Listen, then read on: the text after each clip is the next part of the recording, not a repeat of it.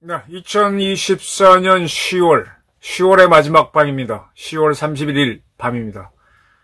아, 이 앞선 방송에서 북한이 화성 18형을 쏜 거는 윤석열 대통령을 탄핵하기 위한 정치적 공세다라고 분석을 했는데 이번에는 어, 군사적인 또 공학적인 분석을 하겠습니다. 북한이 화성 18형 쏜 게 어떤 의미가 있는지. 자, 7,000km까지 올라갔습니다. 아까 말씀드린 대로 보통 저궤도 외성이 한 200에서 500km 지구상에서부터 날아갑니다. 그 10배 이상 높은 데 올라갔습니다.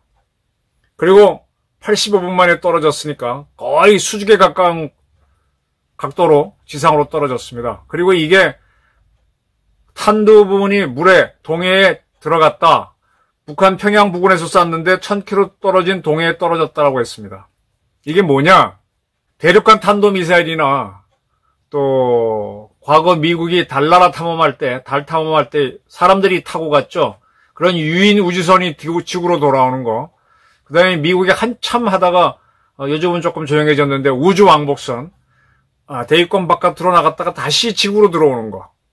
사람 태우고 안전하게 돌아와야 되죠. 대륙간 탄도미사일도 그 안에 원폭, 수폭이 있는데 그게 들어오면서 타지 않고 쏙 들어와야 됩니다. 그걸 영어로는 re-entry, 우리말로는 재진입이라고 합니다. 예, 지구상에서부터 100km 바깥은 공기가 없다고 보죠. 음, 조금 있어요. 아주 희미하게 있고 200km 가면 더 희미하고 근데 100km부터 들어오면서부터 공기가 점점 많아지면서 산소가 있, 고 마찰력이 때문에 이게 탑벌입니다. 지금도 지구상에서는 지구 위로는 굉장히 많은 별똥벌이 떨어지는데 유성들이 그게 다 타서 우리가 그 유성에 얻어맞지 않습니다. 근데 한 번 몇 천년에 한 번씩은 유성이 떨어지죠. 그러면 엄청나게 빠른 속도로 엄청난 불덩어리가 떨어져서 대단한 충격과 화재가 난다. 그러한 유성이 바다에 떨어지면은 바다가 출렁할 거 아닙니까? 그 지진도 안 났는데 엄청난 쓰나미가 생겨서 그 해안가에 있던 생물들은 치명적인 타격을 입는다. 뭐 그런 얘기가 있습니다. 자, 북한이 7,000km까지 올렸던 이거를 동해바다에 빠뜨렸다는 것은 재진입에 성공했다는 겁니다. ICBM이 되려면은 수폭과 원폭을 탑재한 이 탄두가 쭉 날아가서 우주 바깥으로 대기권 바깥에 나갔다 다시 들어오면서 타지 않아야 되는데 타지 않는 방법을 북한이 찾아냈다는 뜻입니다. 이 대기권 안으로 들어올 때 지구 중심부를 향해서 수직으로 떨어지면요. 지구 중력이 그대로 작용하잖아요. 굉장히 센 데다가 공기의 마찰이 커지기 때문에 아, 그거는 그렇게 들어오기는 쉽지 않아요. 그래서 보통 우주로 나갔던 탄두라든지 핵탄두라든지 또는 왕복선 같은 것들이 지구로 비스듬히 들어옵니다. 비스듬히. 그냥 직각으로 떨어지면 타버려요. 근데, 근데 너무 비스듬히 들어오면 공기가 있기 때문에 압력으로 탕 튕겨 나갑니다. 여러분들 왜 호숫가에 가서 납작한 돌 갖고 옆으로 탁 던지면 수면을 탁 차고 물수줍이 뜨잖아요. 그것처럼 탁탁 튀어 날아가 버립니다. 그 각도를 잘 잡아야 돼요. 그러면은 이게 쫙 들어오면서 그 충격파가 공기를 가르면서 그 또 공기가 또 저항해주는 충격을 또 이놈이 적당히 흡수하면서 싹 들어올 수 있습니다. 요 각도를 잡는 게 굉장히 중요한데 미국과 러시아는 그동안 숱한 우주 개발 그들은 이제 50년대부터 스푸트니크 충격 뭐부터 해가지고 아폴로 경쟁까지 엄청난 우주 경쟁을 하면서 많은 데이터를 갖고 있죠. 우리는 없죠. 우리는 아직 뭐 우주로 올라가기만 하는 걸 해봤지 내려오는 지구로 돌아오는 재진입을 해본 적이 없거든요. 우리가 만든 나로호나 누리호는 올라가기만 했지 내려오는 게 아니었단 말입니다. 위성도 이제 수명 다하면은 지구에 끌려 내려오다가 지구에 대기권하고 부딪혀서 타버리는 그런 개념이죠. 그러면은 이 re-entry를 한다. 이게 ICBM이 있는 나라들은 이 재 진입 각도를 알아요. 어떻게 들어와야 되느냐. 북한이 성공했다 이겁니다. 단박에 의심되는 거는 12,000명 특수작전군 폭풍군단을 파병하는 대가로 그 각도를 받았을 것이다. 누구로부터? 러시아로부터. 증거는 없습니다. 근데 저는 그런 상상을 합니다. 북한이 지금 전 세계의 비난을 무릅쓰고 그리고 북한군 군복을 입는 게 아니라 러시아 군복을 입고 러시아군으로 위장해서 12,000명을 죽음의 계곡, 죽음의 벌판으로 내, 보냅니다 그에 대한 대가가 무엇일까 생각해 본다면 아 북한이 저걸 얻었겠구나. 그럼 러시아는 뭐, 뭘 얻느냐? 이제 지금은 자기네가 직접 우크라이나를 치지만 앞으로는 북한으로 하여금 미국을 향해서 ICBM을 발사할 수 있게 한다. 즉 대리전을 하도록 북한을 수석일 수 있게 됐다 이겁니다. re-entry 각도를 줬다. 조금 더 나가게 되면 re-entry 재진입을 할 때는 어, 그 전에 왜 우주 왕복선이 지구로 들어오다가 미국 게 몇 차례 폭발한 적이 있죠. 그 겉면에 세라믹을 붙인다고 하죠. 도자기, 도자기. 아주 단단한 도자기. 그게 불에 제일 잘 견뎌요. 쇠 같은 건 녹아버려. 강도 녹아버려. 근데 그 세라믹을 붙여놓으면은 그게 지구로 들어올 때 공기와의 마찰로 막 불이 나는데 그걸 견디는 게 세라믹 도자기란 말입니다. 근데 그걸 타일처럼 붙이는데 그게 한 짝이 떨어져 나가면은 그 안에 타 들어가죠. 그러면 유인 우주선이 흔들리면서 폭발을 하는 겁니다. 그래서 그 세라믹 기술이 상당히 어렵고 세라믹을 통해서 이제 반도체도 가고 하는 건데 그래서 요업공학과가 굉장히 떴었잖아요. 세라믹 공학과가 되면서. 북한이 그런 기술이 발달하지 않았는데 성공했다. 즉 재진입할 수 있는 재료를 가졌다. 어떻게 빨리 가졌을까? 아, 저 기술도 러시아로부터 받았겠구나. 북한은 우리나라에는 뭐 세라믹 하는 데가 워낙 많은데 우리는 우리 항공우주연구원이 아직 재진입까지 못했기 때문에 해볼 방법이 없어요. 그냥 기껏 해야만 용광로 같은 거 만들었을 때 그 안에서 온도를 견디는 걸 하지. 근데 지구로 막 들어올 때는 용광로보다 온도가 높은 데다가 막 진동이 있고 막 그러잖아요. 타일이 떨어지기 쉽습니다. 그건 못 해봤는데 북한이 했다. 어떻게 했을까? 러시아가 기술을 줬겠다. 의심해 볼 수 있죠.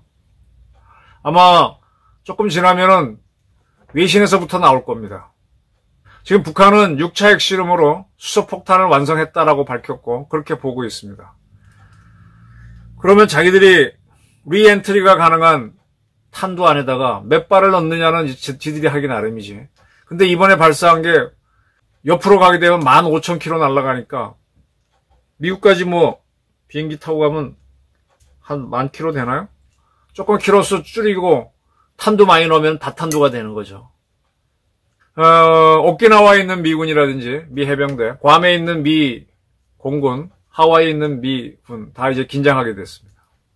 어떻게 합니까? 지금 우리 공군은 F-15K를 동원해가지고 북한이 화성 18형을 쏠 수 있는 TEL을 맞추는 연습을 했습니다만 과연 할 수 있느냐? 지금 이제 이 북한이 이번에 화성 18형 쏜 게 고체 연료인데 고체 연료는 갑자기 급작스럽게 가능하잖아요. 액체 연료라면은 기립시켜 놓고 하루 동안 몇 시간 동안 주입해야 되는데 그때 이놈들이 쏘는구나 하고 가서 때리면 되는데 고체연료 미슬은 그냥 팍 날아갑니다. 우리 KAMD가 이걸 막아낼 수 있을까요? 러시아가 북한하고 짝짝꿍을 한 게 바로 저겁니다. 어, 참고로 이성 화성 18형은 바퀴가 좌우로 12축이라 그러죠. 그러니까 24개 바퀴가 있는 건데 우리 현무 5는 9축 9개입니다. 걔는 12개. 네. 훨씬 더 큰 놈입니다. 현무5는 뭐 9톤짜리 탄두를 단다고 하는데 9톤짜리 탄두를 달면은 그 안에 다 탄두를 할 수 있을 겁니다. 근데 이게 대기권 바깥에 나갔다가 대기권으로 들어올 때 재진입할 때 우리는 한 번도 안 해봤기 때문에 견디지 못하면 폭발할 거야. 자, 북한이 이제 저런 걸 가졌는데 그게 단숨에 가진 거는 러시아의 지원 때문이다. 그로 인해서 12,000명을 젊은이들을 핵심 계층이 아닌 동요 계층 출신인 폭풍군단 사람들을 보낸다. 그리고 신병 위주로 보낸다. 말 잘 듣게. 그리고 이 사람들은 러시아군이니까 러시아 간부들은 제일 먼저 써먹겠죠. 자국군을 시작시키기보다는. 이걸 보면서 대한민국 육군대장 출신 김병주 의원. 제가 어제 틀렸는데 그는 육사 40기입니다. 서욱 의원, 서욱 장관은 41기. 서욱 씨가 1년 후배네요. 틀렸습니다. 뭐 제가 재수했으니까 제가 재수 안 하고 갔으면 김병주 씨랑 육사 동기가 됐을 거고 그 친구가 일반대 왔으면 뭐 그렇게 되는 거고 제가 재수하고 8일 학번이니까 서욱 씨랑 동기고 그렇게 되는 거죠. 근데 이 김병주 씨는 아주 험악한 얘기를 했죠. 자, 오늘 북한이 ICBM 쏜 거에 대해서 민주당에서 무슨 멘트가 나왔습니까? 왜 김병주라는 사람은 저렇게 떠들고 이재명은 이런 사건에서 입을 다물고 있죠? re-entry가 됐는데 대한민국 안에 너무 수상한 세력이 많습니다. 또 그들이 싱하이밍이 불러서 뭐라고 하면 谢谢 하면서 따라가는 것도 있는 것 같기도 하고 우리는 내부의 적도 있고 외부의 적도 있고 그 사이에 북한은 re-entry 재진입이 가능한 기술을 러시아로부터 받은 거 아니냐. 그래서 피해 그 대가로 12,000명을 보내고 추가로 내년엔 3만 명 보낸다. 이런 얘기 나오는 겁니다. 이런데도 가만히 있어야 됩니까? 아, 참 부담스러워요. 우리가 먼저 때리면은 침략했다고 할 겁니다. 박지원이라고 하는 국회의원이 있죠. 지난번 이북에서 한국 무인이라고 발표하니까 한국이 침략을 했다라고 합니다. 그 사람이 페이스북에 썼는데. 침략은 공격을 했다는 뜻이에요.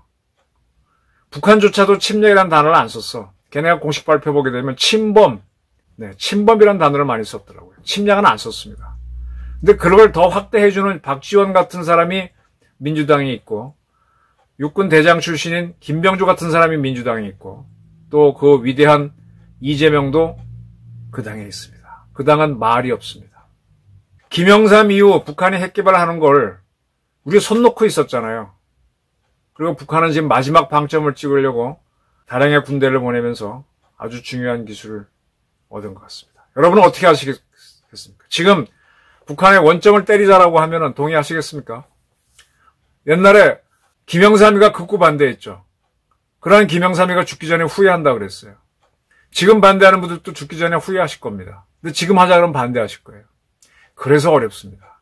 그래서 제가 네타냐후하고 계속 윤석열을 비교하면서 네타냐후 참 대단하다. 정치적으로 굉장히 위기에 있었는데 위기도 빠져나오면서 아주 참 교묘히 잘하고 있다. 우리 윤석열 대통령 할 수 있느냐? 그런데 윤석열이 하려 그러면 이재명, 박지원, 정청래, 김병주 이런 사람들이 물고 뜯고 할 거입니까? 어떻게 돌파하죠? 왜 민주당은 북한이 하는 것에 대해서 말이 없죠? 주사파들도 그렇고 북한이 파병을 해도 말이 없습니다. 이제는 북한의 리엔티를 했기 때문에 거기에 대한 계획을 세워야 되고 계획을 생겨나 액션을 들어가야 됩니다. 저는 하, 옛날에 취재할 때도 뭐 취재 계획만 세우면 뭐래. 아, 난, 난 무조건 가라는 거야. 가서 그냥 부닥쳐서 확 하다가 그리고 그 무더운 경험을 가지고 계획을 세우라고 많이 요구하거든요. 우리 기자들이 말 어쩌고저쩌고 아, 계획 무자 문양 덤비면 안 돼요. 그러길래 난 무조건 가 임마. 가서 헤매고 오면은 그 느낌 갖고 계획을 세워야 현실성이 있지. 이거 탁상 공론 해봐야 뭐래. 제 자신이 취재를 그렇게 합니다. 우선 들어가서 막 헤매고 뭐 냄새도 맡고 하다 보면 어이씨 이렇게 하면 좋겠다 이런 아이디어가 떠오르지 처음에 계획한 대로 가보면 맞지도 않고 다 어긋나요. 저는 지금 북한이 아주 얕게 한다면은 우리를 때릴 듯 때릴 듯 오늘 풍선 같은 거 해갖고 뭐 한국 무인기가 들어왔다고 해서 때릴 듯 하면서 안 때리면서 때렸다간 얻어맞으니까 겁만 주면서 하면서 자꾸 ICBM 기술, 핵 기술 완성해가고 돈 벌고 그럴 수도 있다는 겁니다. 윤석열 정부가 좀 더 과감했으면 좋겠습니다. 이재명을 어떻게 할 수는 없어도 김정은은 언제든지 칠 수 있다 이런 인식을 갖고 액션, 액션 플랜을 만드는 게 아니라 액션에 들어가 주기를 저는 주문합니다. 시간이 별로 없습니다.